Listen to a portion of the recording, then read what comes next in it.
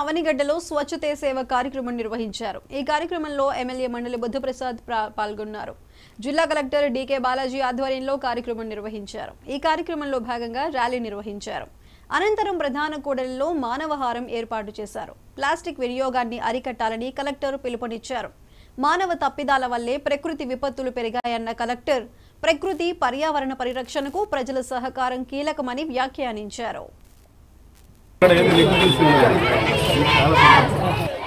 చెట్లను పెంచు.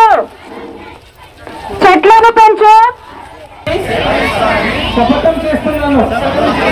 ప్రతి సంవత్సరంలో వంద గంటలు మరియు ప్రతి వారానికి రెండు గంటల సమాధానం ప్రజల ఆరోగ్యానికి భద్రత.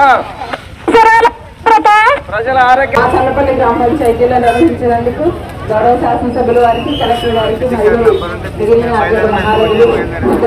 కూడా ధన్యవాదాలు తెలియజేస్తూ మీరు చెప్పిన విషయాలన్నీ పూజ తప్పకుండా గ్రామ పంచాయతీ మాటిస్తున్నాను సార్. తప్పకుండా మా స్వచ్ఛసుందర చల్లపల్లి తరఫున టీం అందరం కలిసి చేస్తామని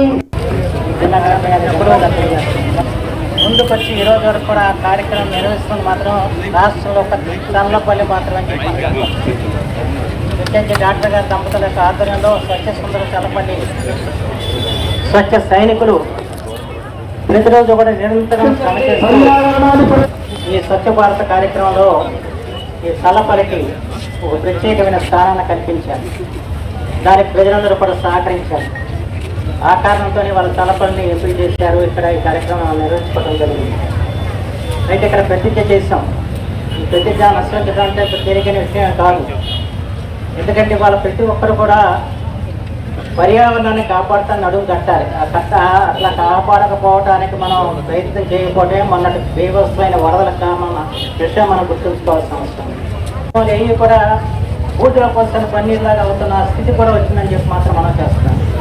ఎందుకంటే ఓటా చట్టం ఉంది. ఓటా చట్టం ప్రకారం చెట్టును తోసేయాలంటే దానికి తహసీల్దార్ అధ్యక్షతను ఉన్న కమిటీ వాళ్ళు నిర్ధారణ చేయాలి. కానీ ఆ ఇవేవి కూడా వాళ్ళు పాటింపడలేదు విషయం కూడా